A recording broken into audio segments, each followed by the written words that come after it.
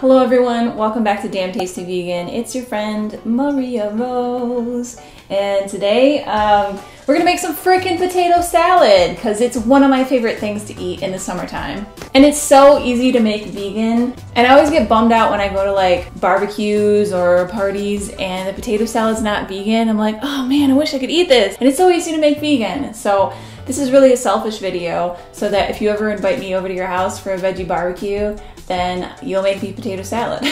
no, but for real, this is a really great dish to make and bring to a party to share with your friends. This tastes amazing when you let it sit in the fridge. Make this ahead of time before your party, before your event, and it'll taste 100 times better if that's even possible, but it, it will taste better. so if this video helped you out in any way, I would really appreciate if you interacted with me. I love creating a community of people who love vegan food, who love animals, who want to help the planet. All right, so let's hang out for a little bit and I will teach you how to make this amazing, delicious vegan potato salad.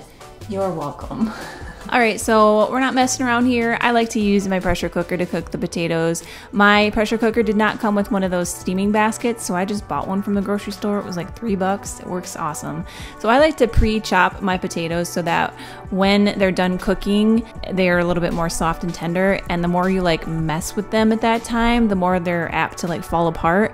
So I like to, to chop them beforehand and I have uh, the full directions on the blog. With if you don't have a pressure cooker, I show you how to boil the potatoes.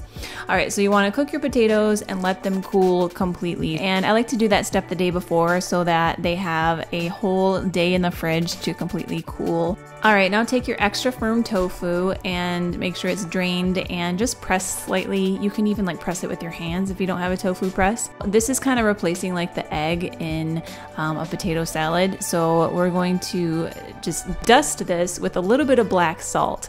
Now this is optional if you don't have black salt on hand, it'll work completely fine. But if you want to make this like a little more fun and make, make it taste like a traditional potato salad, then the black salt, I'll link um, some below that's only like three or four bucks. So that is what gives the tofu a little eggy flavor. So then we're gonna add our cooled potatoes in with the tofu and we're gonna add our onions and celery and then some garlic powder and onion powder.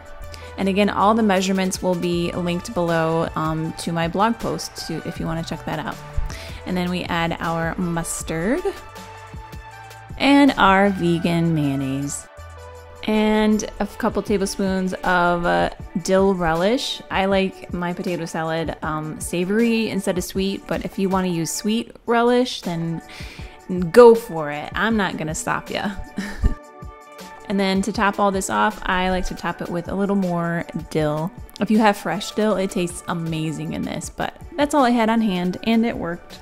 So this potato salad tastes really well when it's been sitting in the fridge for a day. So make this ahead of time, like a day ahead, and let it sit in the fridge and kind of hang out and just merge all the flavors together. Oh, you wanted to make sure you top this. You've got to top it with paprika. So it has a really nice color as well.